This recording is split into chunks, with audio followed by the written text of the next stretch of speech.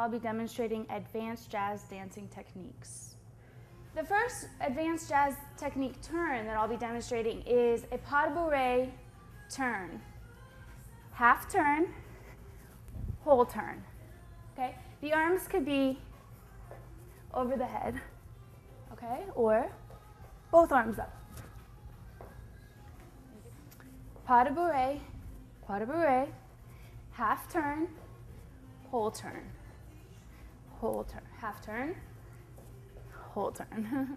there are several dance studios in your area that would be very happy to have you join their group classes. There are lots of choreographers who specialize in different types of jazz dancing. Um, and just try them all out and see which one you like the best and stick with that for a couple years. And you'll be grooving just fine.